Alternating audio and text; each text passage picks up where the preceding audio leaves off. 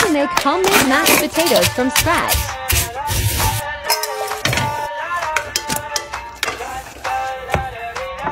What should we try next?